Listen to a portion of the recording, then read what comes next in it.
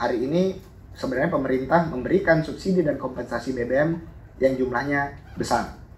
Uh, dari lima tahun terakhir ya 2019, 20, 21, 22, 23 itu rata-ratanya 119 triliun.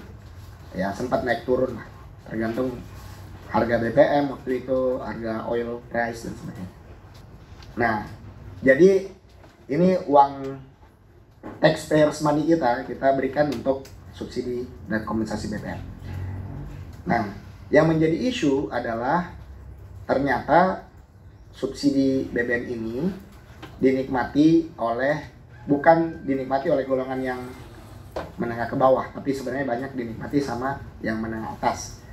Apa ininya? Kalau logik sederhananya ya wajar aja karena kalau dia mungkin pendapatannya kecil ya dia mungkin naik kendaraan umum atau dia naik motor ya. Terus begitu dia mulai lebih sejahtera dia beli mobil. Ya mobilnya mungkin awalnya yang mobil kecil ya entry level. Kemudian lama-lama dia pakai yang mobilnya yang cc-nya lebih gede. Terus habis itu beli mobil kedua dan sebagainya dan sebagainya. Jadi sangat uh, apa ya, data ini kayaknya align dengan dengan kondisi sehari-hari lah. Jadi makin tinggi pendapatan seseorang kemungkinannya dari data ini juga ya, kelihatannya dia dia akan pakai BBM lebih banyak berarti subsidinya juga lebih banyak hari ini penyaluran BBM sumber subsidi yang harusnya dinikmati oleh golongan yang ekonominya lebih rentan atau lebih lemah itu ternyata malah dinikmati sama yang golongan lebih kuat. Jadi perlu dibuat subsidinya ini lebih tepat sasaran. Jadi ini kita kasih gambaran misalnya begini.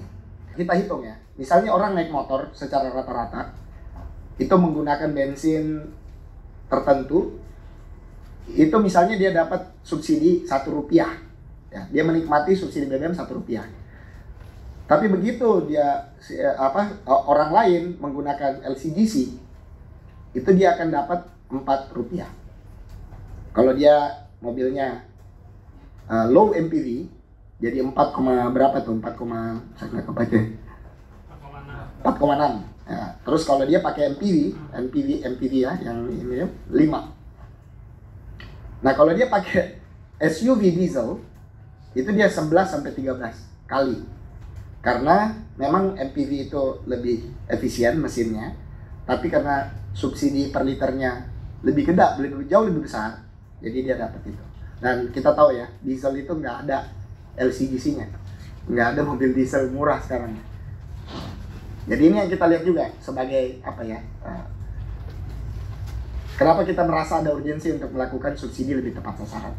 Jadi orang yang naik motor hanya dapat satu perak, orang yang naik mobil dapat 4 sampai 5 perak, yang naik diesel, mobil SUV diesel malah 11 sampai 13 perak.